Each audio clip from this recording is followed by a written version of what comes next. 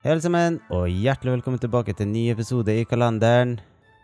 I forrige episode, hvis jeg ikke husker feil, så bygde vi det dere ser bak meg her, av huset. Så vi pakka inn litt i trær og sånne ting. Det er litt tomt bak meg her, men det skal vi se på sånn etter hvert. I dag skal vi se på det der. Jeg har tatt opp litt tidligere i dag, men når fila blir korrupt, så vet jeg ikke hva jeg skal gjøre. Men jeg har en hurtigvideo at jeg bygde det her, så det skal dere få se.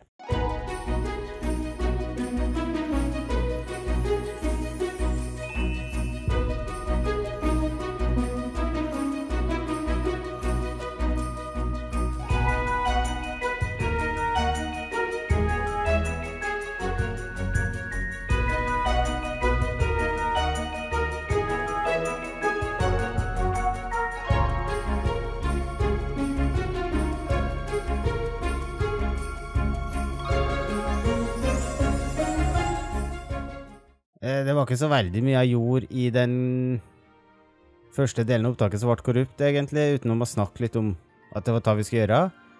Men jeg syns det ble litt tomt på denne sida her nå.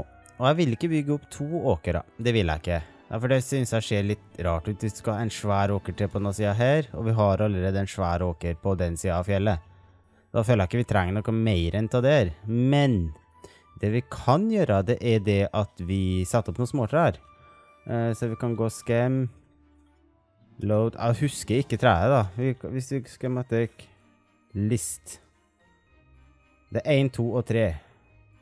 OK. Jeg har ikke så mange schematic opp, så hva skjer? Uh, scam Load Er det én? Vi kan prøve på én. Og hvis dere hører noen rare lyder i bakgrunnen, så er det bare bikkja mi som sitter og spiser litt. Eh, Paist minus A. Jeg tar det lille. Ja, nydelig. Sett opp et par småtrær bortigjennom her, så vi får fylt opp litt på den måten, tenkte jeg. Det tror jeg er en fin måte å gjøre det på. Ja, for da har du et par småtrær der. Eh, ta det huset jeg bygde til åkeren. Inni her så har jeg gjort så mye. Ingenting. Jeg kommer ikke til å fokusere på innsida av husene på videoer, folkens. Det kommer jeg til å gjøre i mellom opptak, så kan jeg heller vise dere det etter hvert. Hvis jeg skal gjøre innredninger på alle hus på video, da blir vi aldri ferdig. Men jeg tenkte jeg skulle sette opp ikke 23, men 22.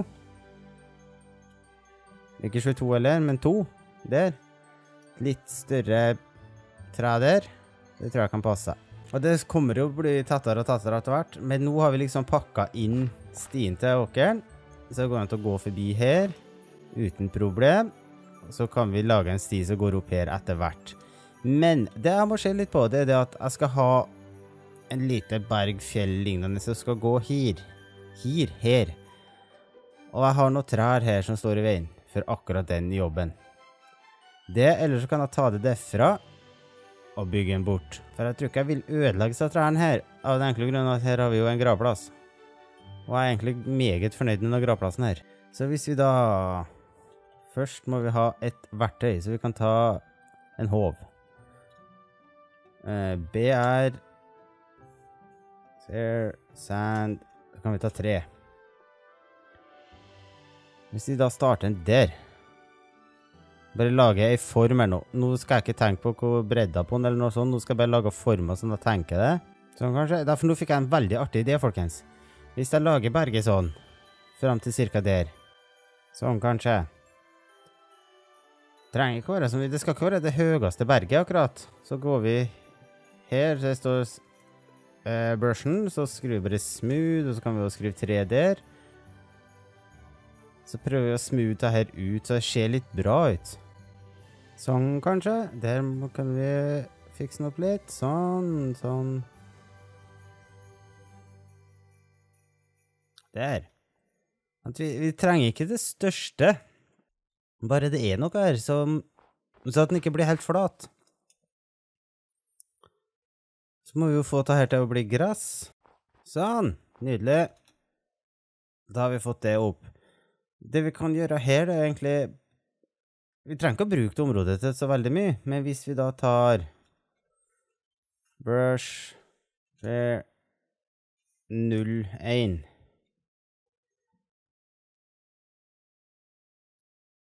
Så lager vi rett og slett bare en, et høl her, så vi fyller opp med is. Så når vi får en sånn en, da har vi liksom en isdam her, og så går det an til å sette opp en sti derfra og hit. Så går det an til at jeg har en liten isdam til her. Og så, så bak her, så har vi en perfekt plass å sette opp et par trær. Som for eksempel, derfor da har vi jo pakka inn av isen der med litt trær og alt av der, og da ser det jo plutselig mye bedre ut. Vi mangler egentlig bare en sti bort dit. Vi kan jo få på den med det samme mens jeg er i gang. Der har vi en sti innover dit. Sånn. Derfor da går det an til å gå inn hit, og da kan vi egentlig, egentlig, egentlig, dere, vi kan se om vi finner det som heter en bench, og så tar vi en strip dark oak, det der tror jeg har brukt overalt. Så Kan vi sette opp en bank der. Og så kan vi bare sette opp en random bank her. Oi sann. Der, tenkte jeg. Og så kan vi slå bort litt her.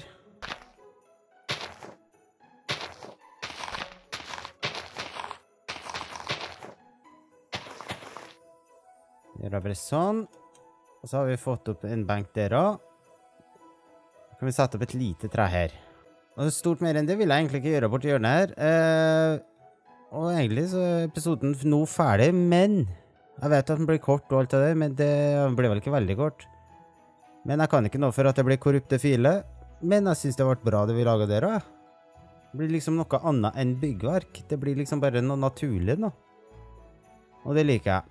Eh, mellom og sånn, eh, jeg vet ikke om det blir til neste episode eller hva det blir, så skal jeg ta og snøs og ta og legge rundt stien. Så det ser ut som jeg må skuffe opp og bli litt mer stemning. Det skal jeg gjøre her, der, hele stien her, den stien. Og rundt her. Her må vi få opp noe, hvis det ikke bare blir trær eller noe. Eh, jeg har bestemt meg for at jeg skal ikke gjøre så veldig mye på denne sida her i år. Eh, det har vi gjort. Her har vi, var vi i fjor, og det vi har gjort her, det har vi gjort. Det kan godt bare være sånn åpent her, og den gangen jeg last... Eller ikke laster ned kartet, men gir ut kartet til dere, så kan dere bygge opp noe her òg. Jeg har planer om å gi det ut etter hvert. Men da får dere ha en fantastisk dag videre, og så snakkes vi i morgen i episode seks. Så gjerne abonner på kanalen, det setter jeg utrolig stor pris på, og gjerne del videoen med en venn eller en familie eller noe, det setter jeg òg utrolig stor pris på, så snakkes vi. Ha det bra. Thank you.